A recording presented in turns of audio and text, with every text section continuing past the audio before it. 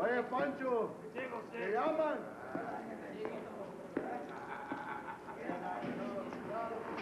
Checkout time, LeBaron. Are you in your little dream world again, or are you planning another fire? I see more than you could ever imagine. Well, open your eyes, blind man. You are free.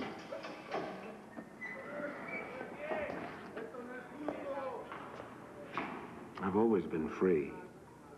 You're the prisoner, Frank.